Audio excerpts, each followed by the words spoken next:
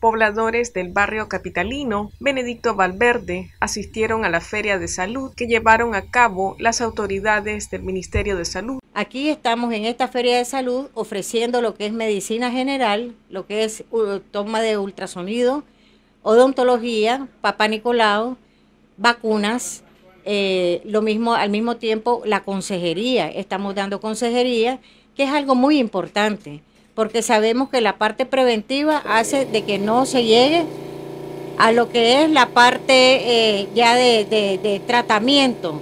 Entonces, cuando el paciente o el habitante se da cuenta que hay determinadas cosas que no hay que hacer, ahí estamos haciendo la prevención.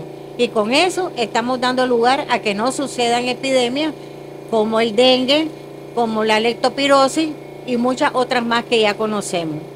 La importancia en estas móviles es que pueden observar, tenemos una clínica odontológica donde estamos dando atención, brindando atención de, eh, de calzas, de limpiezas, de extracciones, de revisiones y también de consejería, diciéndole al paciente cómo tiene que lavarse sus dientes y el cuidado general que tiene que llevar para que así esos dientecitos puedan durar.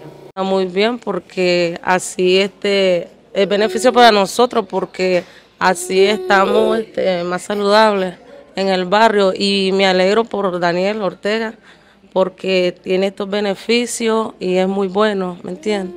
Ya te ahorras tiempo, dinero. Ah, claro, sí, claro. Bueno, ella es mi sobrina, ya me sigo ya pero este es bueno porque así lo ahorramos de ir al centro y estamos más cerca. Contenta porque acá voy a obtener dos consultas. ¿Hiciste tu examen? Sí, acá lo tengo. Excelente la atención de los médicos, las enfermeras. Pues es importante por lo que ellos están pendientes de nuestra salud. Solo tenemos que poner un poco de nuestra parte y poner tiempo nosotros como ciudadanos. Para Noticias 12, Gloria Campos.